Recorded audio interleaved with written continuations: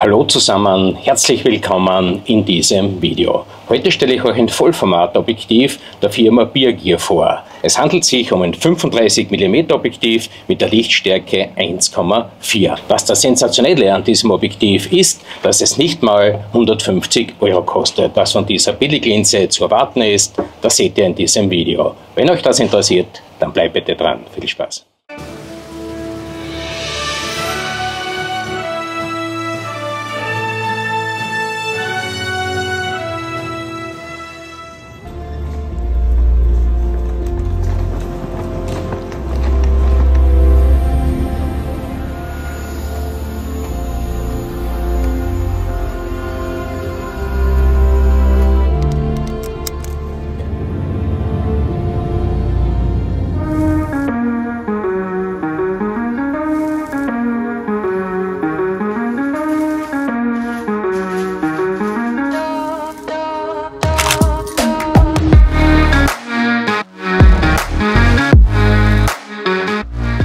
Firma Biergier hat mir freundlicherweise diese Linse zur Verfügung gestellt und ich habe sie für euch auf der griechischen Insel Santorin ausführlich getestet. Vorab zum Thema Transparenz. Obwohl ich dieses Objektiv dieser chinesischen Firma zur Verfügung gestellt bekommen habe, werde ich euch trotzdem meine eigene Meinung sagen. Das heißt, wenn ich etwa Schwachstellen am Objektiv feststelle, dann werde ich euch diese natürlich auch näher bringen. Was ist das Besondere jetzt an dieser Linse? Die ja eine Lichtstärke von 1,4 hat. Ein 35 mm Weitwinkelobjektiv, das ist eine klassische Brennweite. Man kann hier verschiedene Genres der Fotografie damit ausführen. Was mich total schockiert hat, als ich gehört habe, dass dieses Objektiv zurzeit nur rund 136 Euro kostet, habe ich ein wirkliches Plastikobjektiv, einen richtigen Plastikbomber erwartet. Als ich die Optik dann zum ersten Mal in Händen hatte, war ich wirklich perplex. Es handelt sich um kein Plastikobjektiv, sondern das Objektiv ist aus Metall gefertigt und wirklich solide verarbeitet. Ich war insofern schockiert, als dieses Objektiv nicht wie ein Plastikobjektiv sich anfühlt, sondern man hat etwas in der Hand wie ein Stück Blei. Das heißt, man glaubt eher, man hat hier ein Leica M-Objektiv in Händen und keine chinesische Billiglinse. Man hat hier einen tollen Blendenring, der auf Klickbasis funktioniert. Ich habe hier die Blende 1.4 über 2.8, 4, 5, 6 bis 16 und der Blendenring rastet sehr gut ein. Den Blendenring zu betätigen, das ist wirklich ein Traum. Das heißt, das fühlt sich wirklich gut und solide an und was ich euch noch nicht gesagt habe, was auch das Besondere an diesem Objektiv ist, es handelt sich um ein manuelles Objektiv. Das heißt, ihr müsst auch manuell scharf stellen. Es gibt ja viele Einstellhilfen für die manuelle Fotografie. Ihr könnt verschiedene Farben und so weiter einstellen. Wenn ihr durch den Sucher seht, wisst ihr ganz genau, wann das Bild eben scharf ist. Ihr müsst natürlich in der Kamera dann alles fürs manuelle Scharfstellen einrichten und die Kamera so einstellen, als ob kein Objektiv oben wäre. Das heißt auslösen ohne Kamera bei Canon. Ich habe dieses Objektiv nämlich für den Canon RF Mount zur Verfügung gestellt bekommen. Das heißt für Vollformat. Ihr könnt dieses Objektiv auch bei Canon APS-C Kameras verwenden. Das heißt, ihr habt dann de facto eine Brennweitenverlängerung im Ergebnis. Dann kommt ihr ungefähr auf 52 mm hin. Auch eine gute Brennweite etwa dann, um Porträts zu machen. Diese Optik von Bergear gibt es nicht nur für den Canon RF-Mount, sondern ebenfalls für den Leica L-Mount, für Sony E-Mount und auch für den Nikon Z-Mount. Die Naheinstellgrenze des Objektivs ist 30 cm, das heißt, ihr kommt an die Objekte relativ nah ran. Ein 35 mm Objektiv mit der Lichtstärke 1,4 eignet sich natürlich perfekt, um bei schlechten Lichtverhältnissen zu fotografieren. Das heißt, ihr habt eine sehr, sehr schnelle Linse und wenn es dämmerig wird oder in schummriger Umgebung, wenn es Abend ist in den Gassen, dann ist natürlich nichts besser als ein gutes, lichtstarkes Objektiv zu besitzen.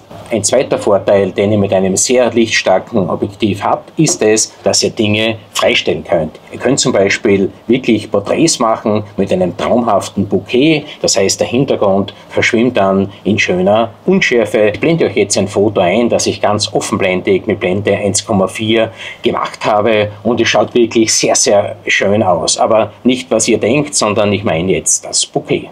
Für dieses gute Bouquet sorgt ein 10-Blatt Membran des Objektivs. Das Objektiv ist natürlich nicht geeignet für Sport, Wildlife, Action und so weiter, da braucht ihr natürlich auch einen Autofokus, denn so schnell seid ihr heute nicht, dass ihr hier manuell nachstellen könnt und auch die Schärfe nachführen. Das heißt, für diese genannten Genres der Fotografie ist diese Optik, diese manuelle Optik nicht geeignet. Dieses Objektiv eignet sich perfekt für Nahaufnahmen, für Stillleben, für die Streetfotografie und natürlich auch für die Reise- und Landschaftsfotografie. Die letzteren sind ja mein spezielles Fable. Vor allem die Landschaftsfotografie hat es mir angetan, aber jetzt auf Santorin war ich auch unterwegs mit diesem Objektiv, um hier Reisefotografie zu machen. Ein paar Bilder blende ich euch jetzt ein.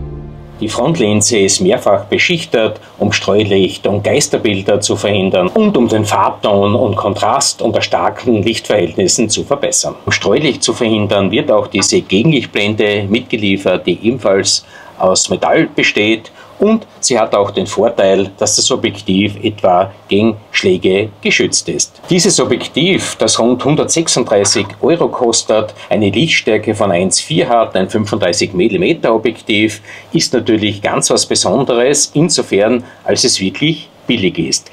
Das Canon 35 mm RF, das 1.4er, kostet rund 1800 Euro und auch alle anderen Hersteller nehmen zumindest 600 bis 800 Euro, wenn ihr ein 35 mm Objektiv mit dieser Lichtstärke benötigt. Natürlich kann dieses Objektiv auch deswegen billiger gebaut werden und auch kleiner gefertigt werden. Es hat etwa eine Länge von 6 cm und einen Durchmesser von 4,3 cm weil es nämlich keinen Autofokus hat. Wenn man hier keine Autofokustechnik reinpacken muss, dann ist natürlich eine Bauweise wählbar, die wesentlich kompakter ist. Wie sieht es nun mit der Schärfeleistung dieses Objektivs aus? Ich muss ehrlich sagen, die Schärfeleistung ist bei Offenblende bei 1.4 nicht die beste. In der Mitte geht es noch einigermaßen, aber am Rand fällt die Schärfe schon sehr ab.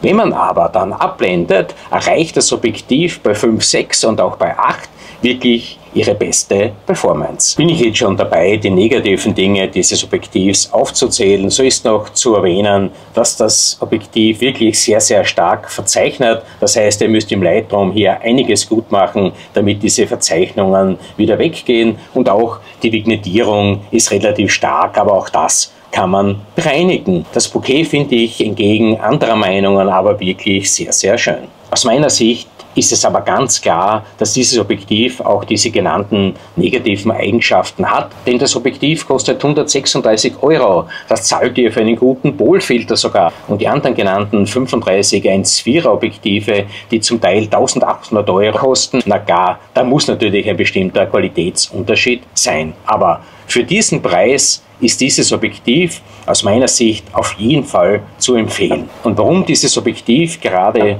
für mich so prädestiniert ist und warum ich so viel Begeisterung mit dieser Optik hatte, liegt auf der Hand. Ich bin ja begeisterter Landschaftsfotograf. Ich habe euch ja schon öfters erzählt, ich will eigentlich eine Kamera haben, die retromäßig funktioniert. Das heißt, ich brauche nur Zeit, Blende, Belichtungskorrektur und maximal noch Zeitautomatik. Und dass für mich eine Kamera einfach sein muss, so soll im Endeffekt auch ein Objektiv für mich einfach sein. Das heißt, man kann mit diesem Objektiv wirklich in Ruhe fotografieren, man kann in Ruhe die Blende einstellen, die Schärfe wählen und ganz bewusst die Bildkomposition wählen und ganz bewusst den Auslöser drücken. Das heißt, man kann Fotografie wieder erleben, weg von einer Computerfotografie, wo ich 100 Fotos mache und mir denke, eines wird schon passen, sondern hier gehe ich bewusst ran an das Objekt, stelle alles in Ruhe ein und erlebe wirklich wieder Fotografie. Was man natürlich um diesen Preis auch nicht bekommt, das ist natürlich ein Staub- und Spritzwasserschutz oder gar eine Bildstabilisierung. Und die EXIF-Daten werden natürlich auch nicht angezeigt, aber ich kann euch eines sagen. Wenn ihr eine Systemkamera habt, eine spiegellose, dann braucht ihr das alles nicht. Dann lernt ihr wieder fotografieren, ihr lernt wieder diesen Hauch von Faszination kennen. Das heißt, ihr stellt alles manuell ein und ihr seht ja am Display, wie das Bild aussehen wird. Das heißt, ihr verdreht einfach Blende und Zeit, den ISO, und schon macht er eine tolle Bildkomposition und ich hatte hier wirklich sehr, sehr viel Spaß auf Santorin mit diesem Objektiv. Das heißt, ich bin wieder runtergekommen und habe Fotografie wieder neu gelernt und auch erlebt. Summa summarum kann ich für dieses 255 Gramm schwere Objektiv, das einen Filterdurchmesser von 43 mm hat, eine echte Kaufempfehlung geben. Ihr bekommt, wenn ihr noch kein 35 mm Objektiv habt, ein solide gebautes, echt tolles Objektiv, das auch tolle Blendensterne macht. Das kann ich euch auch sagen. Auf diesem Wege möchte ich mich heute wieder von euch verabschieden. Ich werde dann wieder bald die Heimreise antreten und zurück nach Österreich fliegen. Ich bedanke mich recht herzlich fürs Zusehen. Ich hoffe, die Vorstellung dieses 35 mm Vollformatobjektivs der Firma Bergier hat euch gefallen. Wenn ihr dieses Objektiv erwerben wollt, ich habe in der Videobeschreibung die entsprechenden Kauflinks reingestellt. Ich wünsche euch wie jede Woche gut Licht. Passt gut auf euch auf Ciao Papa, auf Wiedersehen, bis zum nächsten Mal. Arrivederci, macht's gut.